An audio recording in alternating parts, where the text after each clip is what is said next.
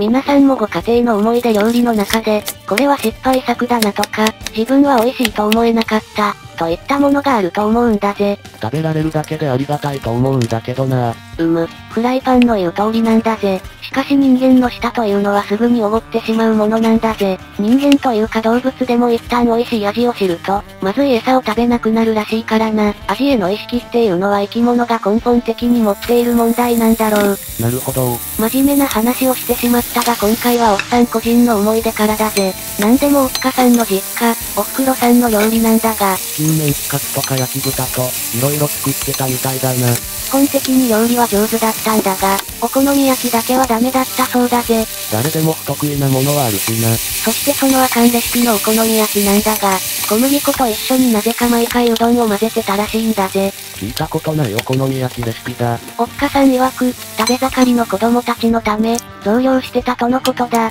なるほどと言いたいが、なぜうどん麺なんだ。とにもかくにもその飯まずトラウマを打破するために、今回はおっさん自らうどん麺入りお好み焼き、美味しいバージョンを作るんだぜ。いいことだな。育ててもらったおかげで、自分で料理を作れるようになったってことだし。だぜ。なんといっても毎日お弁当を作るってのは、このおっかさんの背中を見ておっさんが学んだことだからな。つまりその人がいなければ俺たちも存在しなかったわけか。そうなんだぜ。そしてそのゴッドマザーを超える作戦は、見る人が見ればなんとなく気づいたかな。そう、広島風お好み焼きを手本にした。まずお好み焼き改め多分美味しいオムうどんなんだぜ。やっぱりオリジナルか。こればっかりは、オリジナルレシピで乗り越えないといけない、壁だからな。今回は成功してほしい。さあ勝利は目前だ。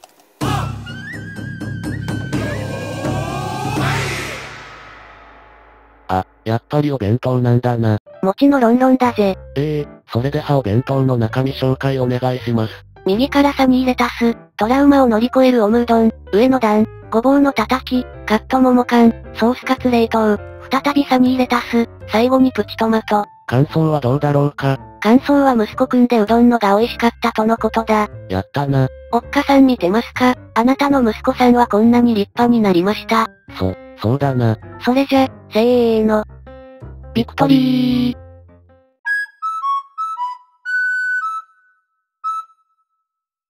戻ってきたぞ。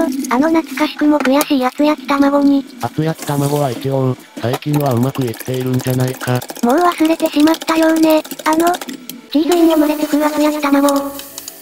あったな。せっかく成功したのに、おっさんが熱々の状態でカットしたから、チーズが漏れ出てしまったな。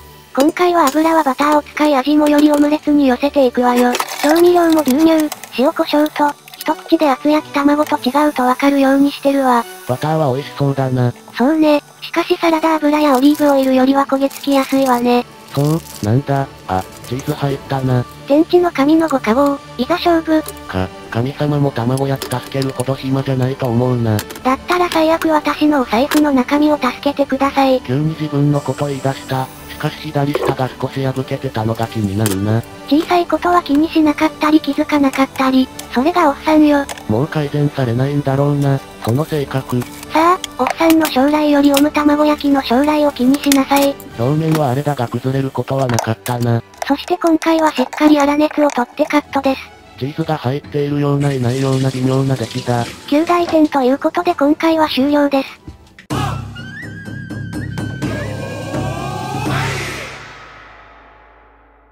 それじゃお弁当の中身紹介。お願いします。右からサニーレタス、牛肉と玉ねぎの焼肉のタレ炒め、プチすぎるトマト、チーズインオムレツ風厚焼き卵、ピオーネ、上の段、ご飯の上に焼きすぎた明太子。前になんで毎回明太子を焼きすぎてるのかってコメントがあったな。それはあれね、おっさんが焦げるギリギリ手前が一番良い。焼き明太と思っているから毎回ギリギリを狙って、なおかつ失敗しているからです。なるほど。それじゃ、お弁当の感想もらおうかな。感想は息子くんでお肉が美味しかったそうです。やっぱり男の子には肉だな。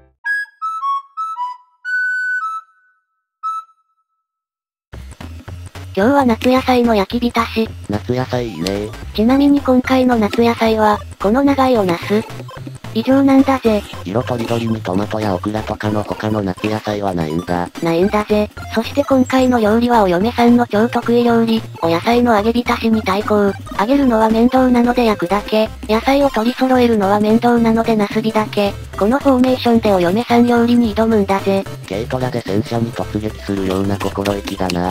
今回の夏野菜の焼き浸し、お嫁さんにレシピを聞くのは負けたような気がする。ネットでレシピを調べたら負けのような気がする。ってことで完全オリジナルレシピで挑むんだぜ。いいね。何の合理的説明もできない。己の道を狭める頭の悪い選択。ここまで見て不安になる常識的視聴者さんもいると思うが、安心してほしいのぜ。おっさんレシピは時にうまくいったり、そうでもなかったりするから、全く絶望的というわけじゃないんだぜ。長ナスの頑張りに期待だね。調味料はめんつゆ、お酢、生姜、砂糖、これを目分量でどんどん入れていく。あ、あとなんとなくごまも入れてみたぜ。圧倒的無計画。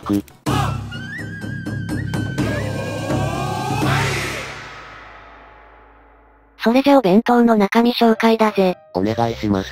右からプチトマト、サニーレタス、クレイジーミートボール、カットモモ缶、お嫁さんに挑む、夏野菜の焼き浸し、上の段、手前味噌の豆腐田楽、最後ご飯の上にのり玉。勝負の行方は、感想はお嫁さんで、特に印象に残らなかったそうだぜ。勝負の行方は不明だったか。おナスについても集中的に感想を求めたが、ちゃんと食べたよ。の一言だけだったんだぜ。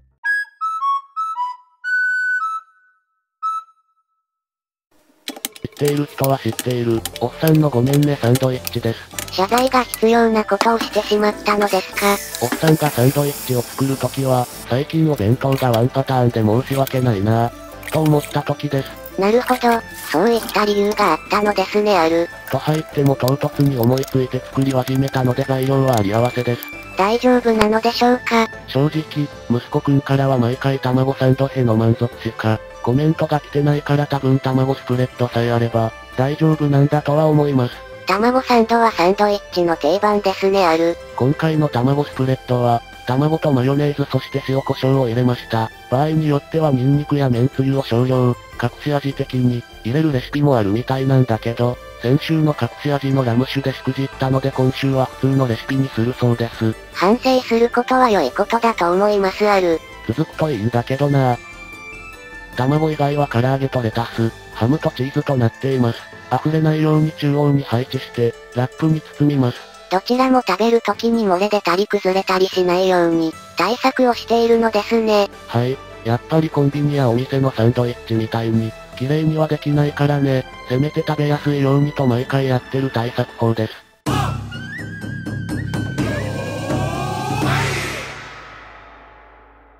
それでは改めてサンドイッチの紹介。よろしくお願いいたします。右からサニーレタス、カットモモ缶、卵サンド、ハムチーズサンド、唐揚げレタスサンドで、卵多めの配分です。お味はいかがだったでしょうか？感想は息子くんで唐揚げサンドが美味しかったそうです。息子くん狙い撃ちの卵サンド、力及びませんでしたね。敗因は唐揚げがお嫁さん作だったからじゃないかな。なるほど、それは仕方ありません。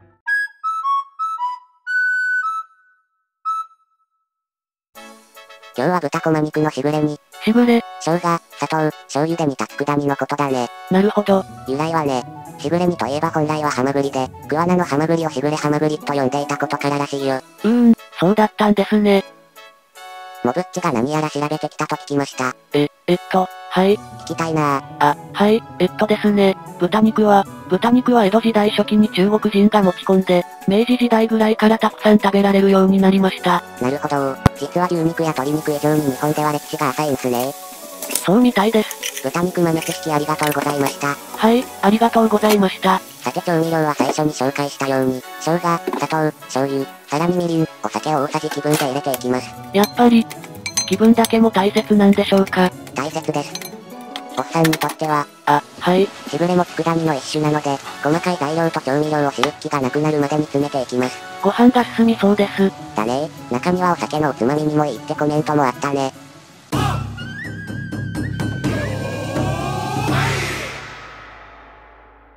それじゃお弁当の中身紹介っす。お願いします。右からサニーレタス、豚こま肉のしぐれ煮、やけに小さいプチトマト、クレイジーバターコーン、シューマイ、冷凍。そしてご飯の上に、金曜日から解放されたあかりさんだよ。よくわからないけど解放されたんですか？ああ、新しいシリーズが始まるから。私は、家でゴロゴロしたりする、忙しい日々に戻るよ。ゴロゴロすることは忙しくないような気がします。もぶっちくんは、ゴロゴロ素人だな。漫画を読んだり動画を見たり、常に時間に追われるんだよ。それじゃ、お弁当の話に戻って感想に行きます。感想はお嫁さんでお肉が美味しかったそうっす。おー、それじゃ、せーの。ビクトリーはい、ここまでのご視聴ありがとうございます。もぶっちの番だよ。そうでした。コメントへの感謝です。コメントありがとうございます。タブや商品登録、ツイートやいいね、宣伝での盛り上げ、あざーす。それでは、皆さん、いってらっしゃい。い、いってらっしゃい。